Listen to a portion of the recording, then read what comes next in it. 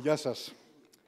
Βλέποντας κάποιους συνταξιδιώτες να ανεβαίνουν χωρίς κονάκι, είπα από μέσα μου πού πας ρε Καραμήτρο. Αλλά μετά είδα κάποιους άλλους συνταξιδιώτες να κρατάνε σκονάκι και έφερα και εγώ το δικό μου. Ε, είμαι ο Κωστής Αβιδάκης, είμαι από τη Ρόδο, γέννημα θρέμα και κρατάω από σφακιά, από προπάπου.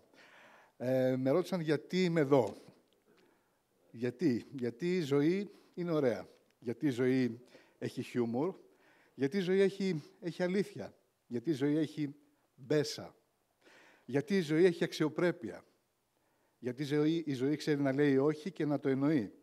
Για όλα αυτά και για ένα εκατομμύριο ακόμα λόγους είμαι εδώ. Αλλά ο σημαντικότερος, γιατί θέλω η ζωή μου να μην, να μην χαραμίζεται στα, στα χέρια κανενός. Θέλω να, να, τη σέβω, να τη σέβονται και να με σέβονται.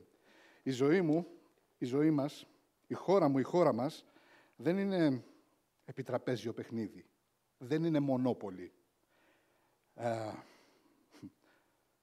δεν έχουν κανένα δικαίωμα να, να πουλάνε και να αγοράζουν τα πάντα χωρίς τη συγκατάθεσή μου, χωρίς τη δική σας συγκατάθεση. Καλή πλεύση να έχουμε.